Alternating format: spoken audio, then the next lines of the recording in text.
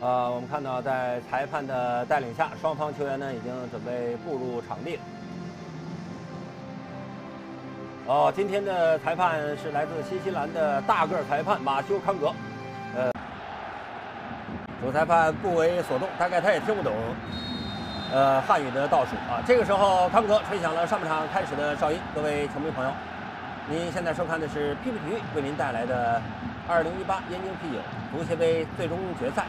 在济南的奥体中心体育场，北京国安客场挑战山东鲁能。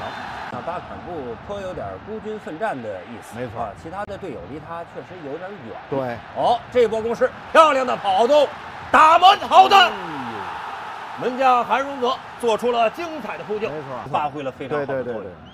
呃，这个赛季初呢，我看看这次进攻啊，好的脚后跟，哇，巴坎布又得到了一个好机会啊，很危险。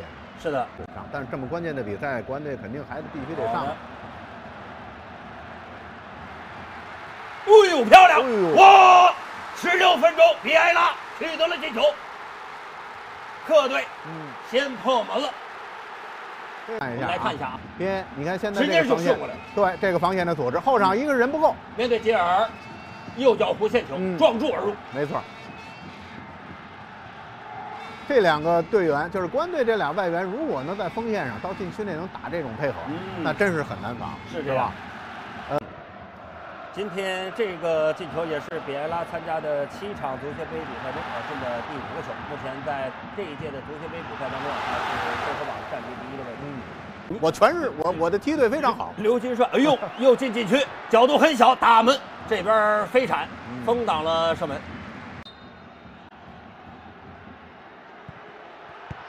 好的，打完油了！三十一分钟，通过定位球，鲁能扳平了吉尔，这是他赛季的第二个足协杯进球。三十一分钟，鲁能扳平，双方走比分，二比二。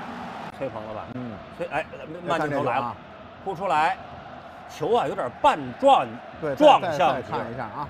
还有一个反弹，对，这球猴子 扑着是。太这难度挺大的，对，难度比较大。扑出来，早年间里瓦尔多就爱打这个，对啊，蹦蹦跳跳，对，在门将身前两米左右的地方就反弹一下，让门将特别难受，因为他的身体状况感觉比首回合交手的时候还要差。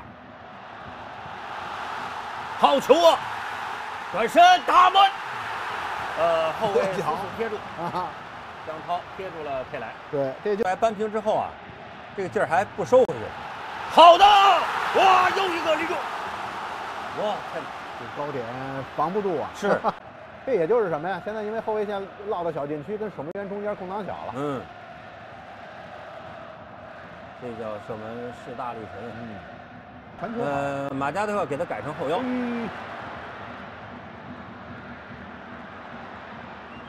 全是人啊！哇，漂亮！这个球应该韩荣德碰到了啊。好的，调成，别拉，右脚弧线球，耶！又是这根立柱啊！又是这根立柱。金京道这会儿呢，边后卫可能不一定能上来以后形成很好的作用。佩莱禁区内拿球是背身，不丢球，再交金京道，右脚传中在后点，非常准确。哎呀呀呀呀，这个太可惜了。这。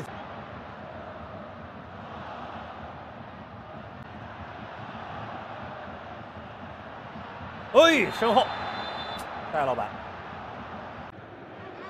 调成处在越位的位置。哎，门将出击了，打到队友，赶紧大脚解围。裁判吹停了，因为可能是击打到头部，所以裁判是吹停了比赛。但李霄鹏指导对于老将的作用啊，其实是非常注意开发的。定位球没有威胁，虽然小有脱手，韩荣泽还算稳当。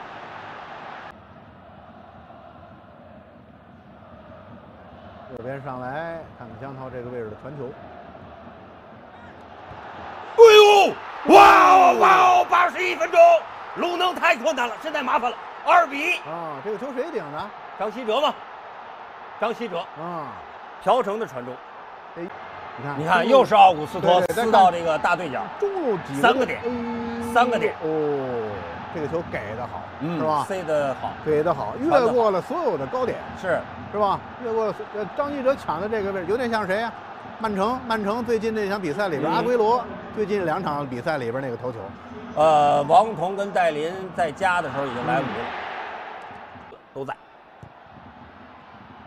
哦，后点有了，八十九分钟，卡尔德利，八十九分钟，哦，这个时间二比二。啊，这个时间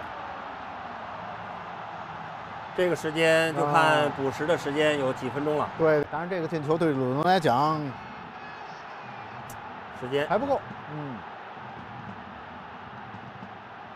哎，这个又又吵起来了啊！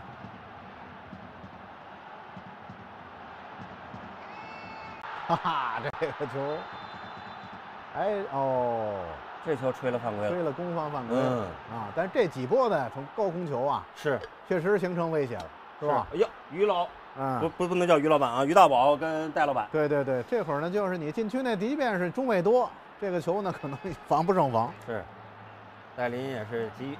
哎呦我的妈呀！戴林是两黄一红啊！哎呦，这边韩荣泽也上了，大空门呐，大空门，传出来，没，哎呀，还滑倒了，这个太有意思了。啊，门将已经回来了。是巴坎布滑倒了，这边让他赶紧起来。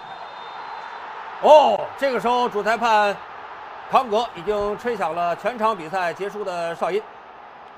二零一八燕京啤酒中国足协杯决赛第二回合在济南奥体中心体育场，北京国安队和山东鲁能队是打成了二比二平，总比分三比三，但凭借着客场进球多，北京国安获得了二零一八年足协杯的冠军。在此向北京中赫国安表示祝贺。